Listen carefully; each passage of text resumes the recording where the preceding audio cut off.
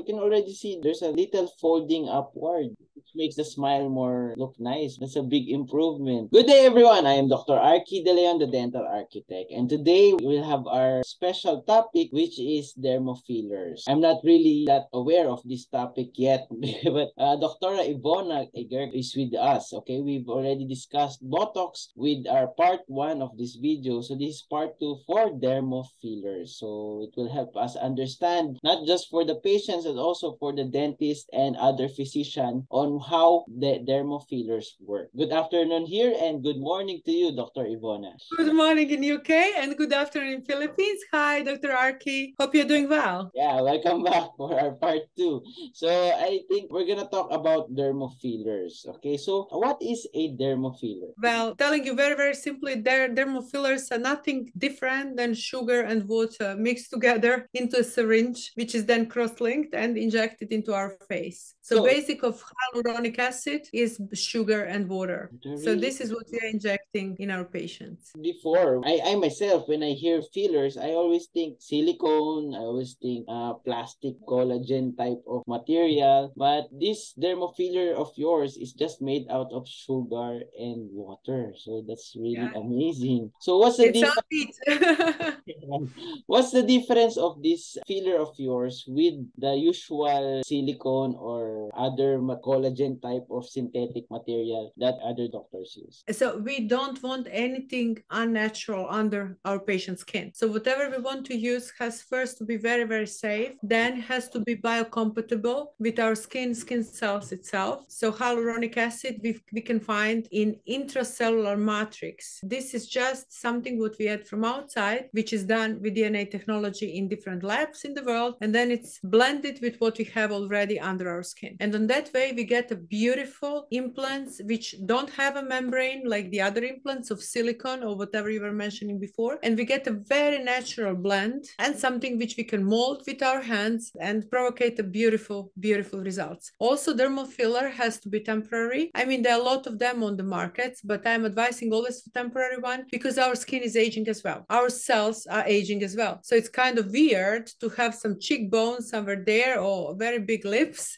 and other part of the face getting aged. So we want really biocompatible and safe materials. Yes, but how long how long has been this dermofillers of using hyaluronic acid? The technology, how long has it been here? Uh, the technology is again very very uh, long on the market. I would say that hyaluronic acid we were using in ophthalmology for a long long time, and all these biggest world biotechs, three of them are in Europe. From ophthalmological field started to get into the field of facial aesthetics around 2000 year 2000, 2000 2001 so i mm-hmm. think it's enough of the medical trials behind. I myself work in biotech industry so every single high quality dermal filler in the world has a lot of scientific support behind it. So the medical devices are very very safe. Yeah. the crucial part is after we choose a safe and good quality medical device is how to inject it. In which part of skin layer and what kind of filler goes in which part of the face. So this is very nice because it's already tried and tested. When it comes to your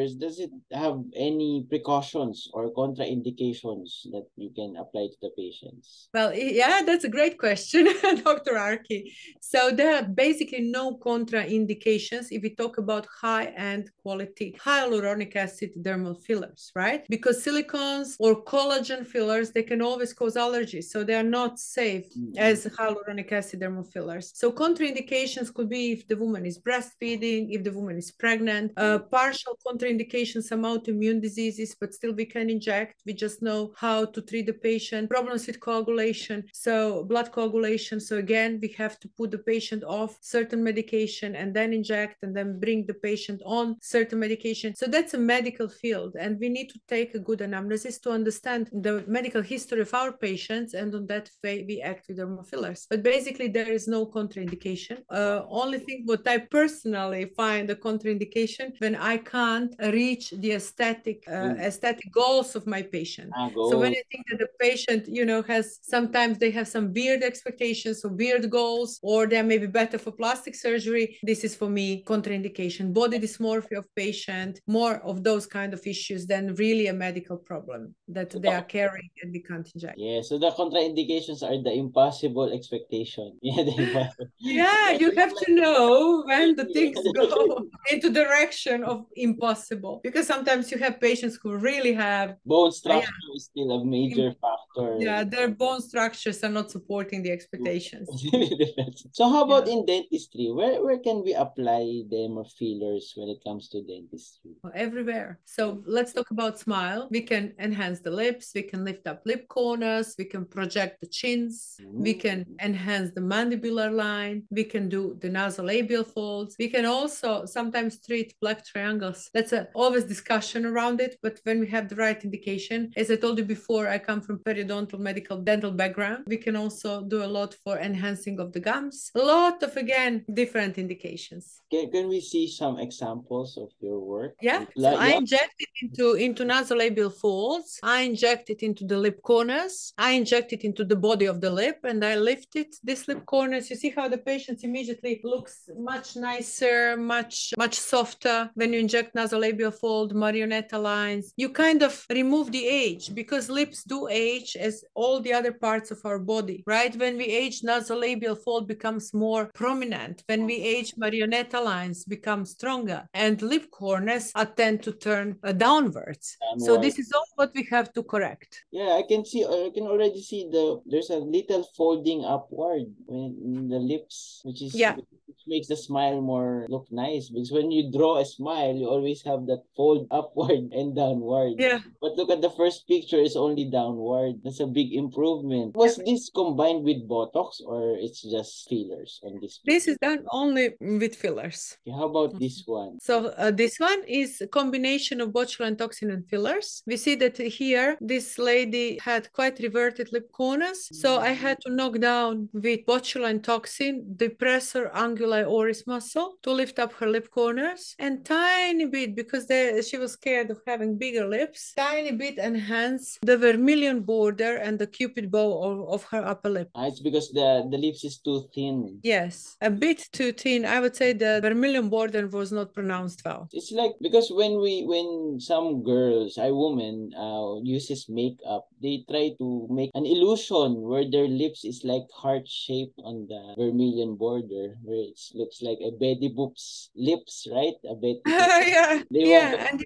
So this one you can achieve without any lipstick. It's like a permanent makeup that you will shape in your lips very nicely. exactly, precisely so. So you can you can be beautiful also without makeup and reshape your lips. So make different shapes to your lips, open your lips. Let's say also flip your lips, which is really really nice. And uh, again, done in the blink of the eye. Mm. Maybe lips swell more than the other parts of the body, but not not too much. So our patients are happily coming for the lunch break treatments from their offices, injecting their lips and going back work. So it's nothing really major happening there. Major problem is when you have to repair the incisors and when you give dental block, then you have bigger distortion of the lip. Then after injecting lips themselves with these new techniques nowadays and dermal fillers. Ah, because it's gonna be stretched. Yes. So is there any maintenance on this? Will will it be absorbed after a few months or after a year? Well, abs- yeah, absorption is always up to our metabolism, but usually I, I would say lips are durable around nine months. Nine and months? then after that, they need a little bit of retouch. But what we see, every one of us who works long time with, with fillers, is that at some point it's like uh, muscle memory. So the fat tissue has its own memory, and you don't need to top up so much. You can top up much less, and the results will get more stable. Ah, so it's like at your first top up, it's nine months. Your second top up, it can be in two years. Then it's Well,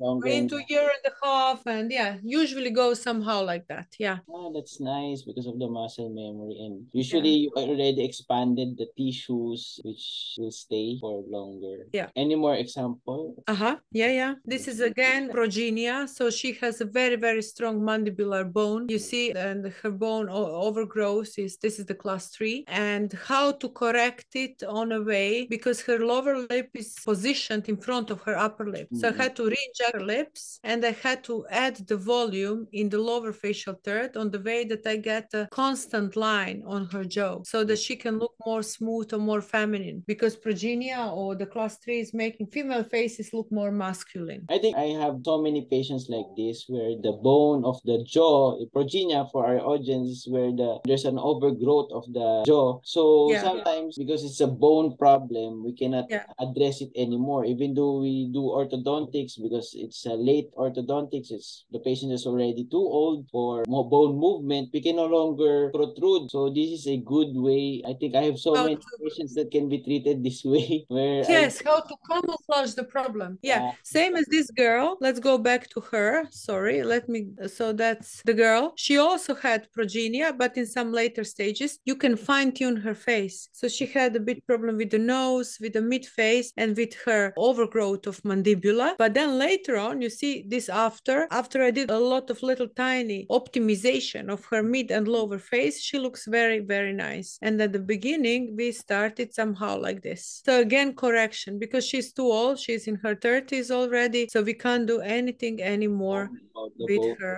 So if you cannot touch the bone, you touch the muscle and the- muscle, you touch the fat pad, and then you can get the beautiful corrections there. So these lips, that's a beautiful example of how dermal filler can somehow address the problem of tissue loss. In the upper face, this girl was bitten by a dog, mm-hmm. but there are a lot of issues where the tissue is lost. Sometimes it's also degenerative, or in a cleft palate, you have a lot of problems. Again, it can be a dental associated clinical issue, and you can nicely treat that with dermal fillers. Add up volume, get into more symmetry in the upper and the lower lip, etc. Absolute symmetry does not exist when we talk about soft tissues. So when we talk about hard tissues and teeth, we can get into better and, and bone, we can get in better and easier symmetry than talking with the soft tissue. So absolute symmetry here we can't achieve, and it's crazy just to uh, work and and try to achieve it. So, So- even the the, the symptoms of the cleft palate can be uh, enhanced with this kind of because we know that cleft palate kids are treated since they are born till the age of 23 4 with constant surgeries and somehow everything could be treated but at the end if you want this fine tuning and beautifying of their lips especially upper lip and the area around philtrum under the nose this we can fine tune and make beautiful only with dermal fillers because sometimes scarring makes the tissue thinner, so we'll get Yes. we make it thicker again because of the fillers. Yeah, because of keloid scarring and also because of rolling of the soft tissues. Uh, Scars can be very, very heavy. And on that way, the weight of a scar is on a way connected with the bad aesthetic results as well. So thank you so much for these cases. Any more conclusion about dental fillers? Any myth busting information where we can share to our audience on what fillers can do? So, to conclude all this beautiful world of facial aesthetics and here dermal fillers, we can say that fillers we can use in treating symptoms of aging, like strong nasolabial folds, infraorbital area can age very, very quickly, then marionette lines. So, to fill into the gaps, which are like symptoms of aging on our faces. Then, fillers we can use to correct certain anomalies, like cleft palate, like when we need to augment or add the tissues when they are lost, like this patient of our of mine who, who was bitten by a dog. Then we can also protrude the lower lower facial third when we have cases like retrusion, the mandibular retrusion. We can correct or camouflage and make nicer every progenia by adding into mid face, adding volume into mid face, which is usually progenic people and progenic profiles have a tissue fat pad loss in the mid face area and correcting it. We can balance profiles. So there are a lot of lot of different applications and beautifications in the lower facial third. So for our audience, anything you want to buff, buff up, we can do it with the fillers. I think that's what Dr. Ivona is saying. Okay, so again, thank you so much again for our part two, Dr. Ivona. Some parts of the feeders are discussed in our part one, so you can watch that again. It's gonna be in the link below. So again, for the dentists and other physicians who want to enroll in the program of Dr. Ivona, you can see the details on the description below. Again, I'm Dr. Arkhe De Leon with Dr. Ivona, and we would like to thank you for watching and God bless. Thank you. Thank you for watching and God bless. See you soon in Philippines. Bye.